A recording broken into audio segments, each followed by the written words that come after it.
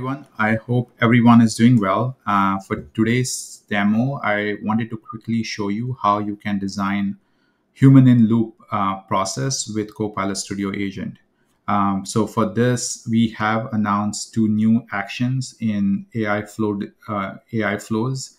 Um, so these are two new preview actions which allow you to design uh, human in loop kind of a process where if your agent requires approval from a team member or from a team, um, it will route that approval uh, to their mailbox and then they can approve it before agent shares the final response with your end customers or employees. Uh, so this is really uh, impactful because uh, there might be scenarios where you want your team to review the outcome before it's sent to your customer um, or even if your AI agent is not able to make a decision based on the instructions, it might um, send send it to a uh, team member uh, who can review and approve it um, so that the process can move forward. So th that's the use case here that we are going to see uh, for today's demo. Uh, also, quickly, I wanted to mention uh, in Copilot Studio, we also have uh, Anthropic access to Anthropic's model now. So if you look here, I'm using Claude Sonnet 4.5 for this agent that I've created. Um, so you should be able to choose, uh, you know, Anthropic models um, to power your Copilot Studio agents.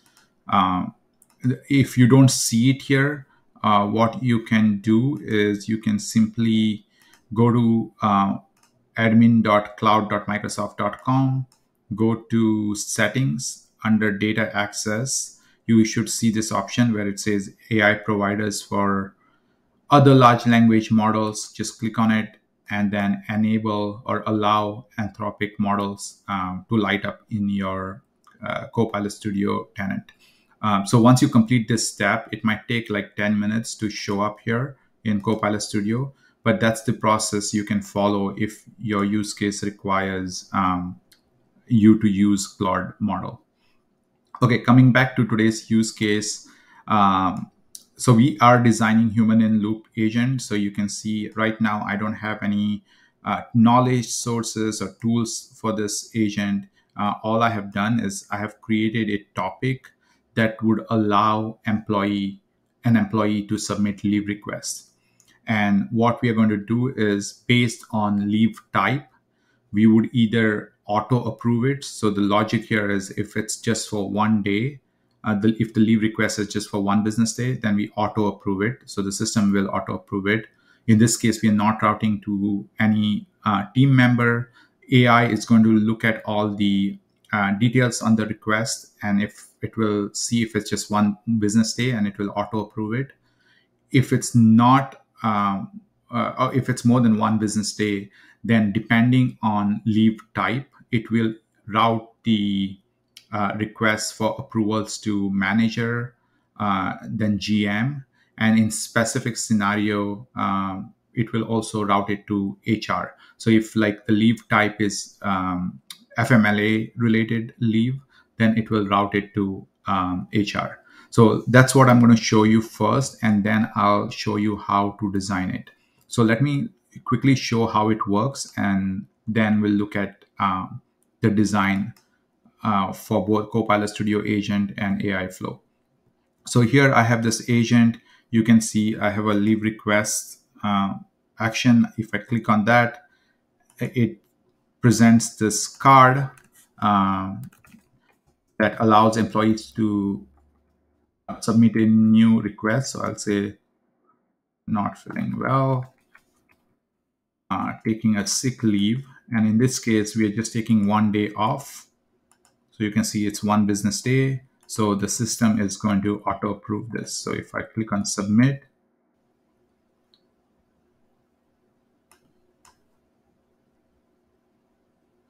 you can see this has been submitted and then I can see I got a got an email here that's my name for the user hello Roy is the first name, administrator is the last name, and it says your leave request of type sick from this state to this state is auto approved by system.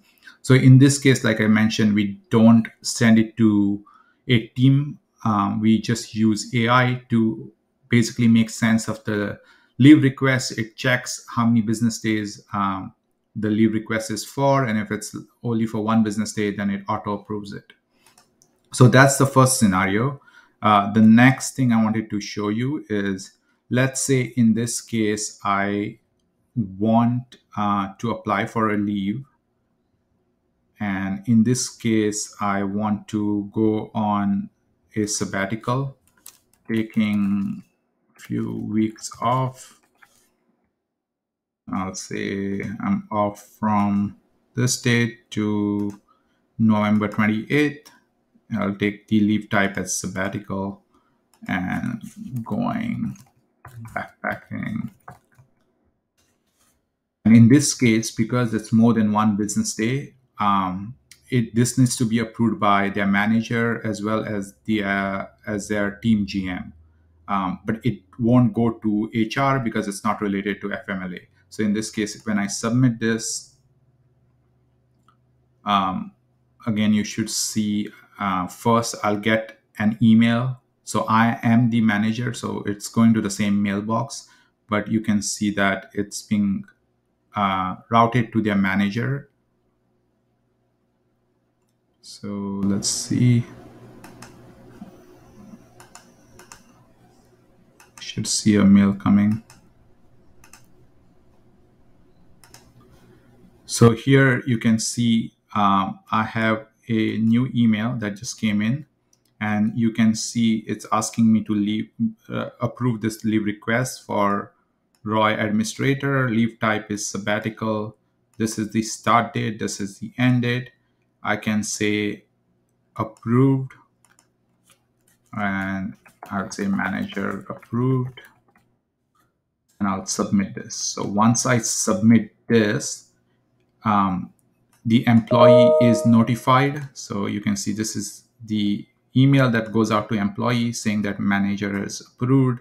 Any comments are shown to the employee. Uh, and then it also tells that depending on leave request or leave type, additional um, approvals might be required. So in this case, um, it will go to team GM. So I should see another email uh, coming in so let's see if I received that email. You can you can monitor it here. So this is the process that it's using and you can see there's an email here. So in this case, you can see just to make it easy to read, this is Team GM. Uh, please review the request for Roy um, and it's showing me the leave type, start date and end date, and I'm going to approve this. Um, so now I'm going to approve this as GM and that's all that's needed. So I'm saying GM approved. So once I submit this, employee is going to be notified saying that all approvals are complete. And here you can see your leave request of type sabbatical starting from this date to this date is fully approved. So this time, because we chose sabbatical, it only required manager and GM approval. Um, I'll quickly show you another um, example where it will also, in addition to manager and GM, it will also route to HR team. So in this case, again, we are going and submitting a new request. And I'll say uh, paternity leave. Um, I'm to select today to December 5th, and I'm saying FMLA leave. So this is what requires HR approval. So I'm going to send it here and I'll submit. And now you can see it's going to follow the same process. So the first approval uh, is from uh, manager. So for manager will get an email asking him to approve.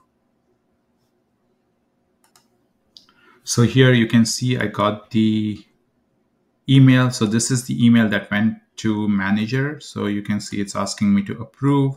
Uh, leave type is FMLA So I'll say yes. Approved. I'm going to click submit. So once I click submit, once the manager approves, the employee gets an email saying that manager has approved. And it also tells them that additional approvals are needed. And next it will uh, go to GM. So here is the GM email.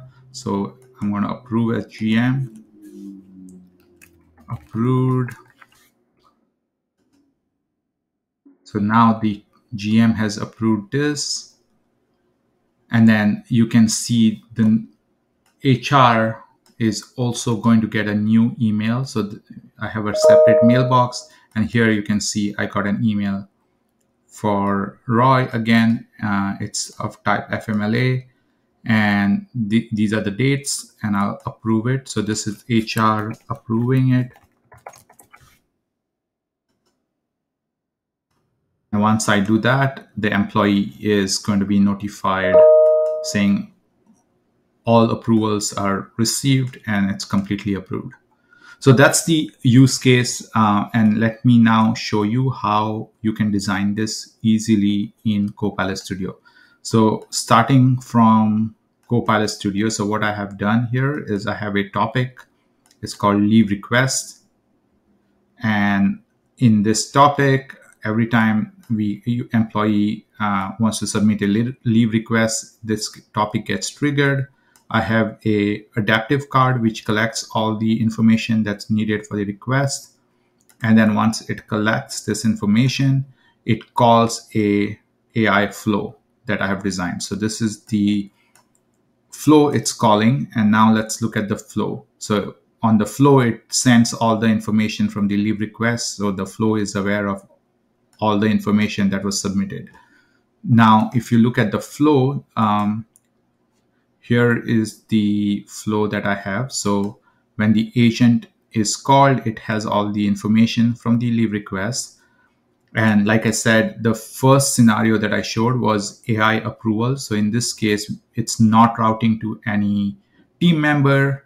Um, all it's doing is it's using this AI approval action, which looks at all the information and decide decides if it's for one business day. If it's for one business days, then we auto approve it. Um, so here I'm checking to see if it's one, if AI approval is approved. So if the outcome of this stage is approved because it's just one business day, then I just notify the employee. If it's more than one business day, then AI approval is going to be denied. And then it uh, goes to uh, first goes to manager for approval. So in this case, I'm using this action called request for information. So this is a new uh, preview action. So all of these are uh, actions within Power uh, or AI flow. So the first one is called AI approval. So this is just AI making the decision. Here we want to collect some information from manager in this case. So I'm using this request for information. I show all the information that was submitted, and then I'm asking the manager uh, whether he wants to approve or deny. So you can see um, this is what is generating the email to the manager. If they click on approve, then we send an email to the uh, to the employee. So once manager approves, the employee is informed that their manager has approved it. And then we have this run a multi-stage approval process. So this is another action that you have.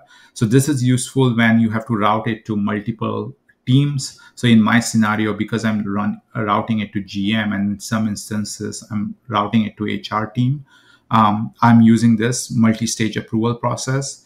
And in this case, what I'm doing is I have created, um, you can see two steps. So the first one is team GM. So as soon as manager approves it, it goes to this step here.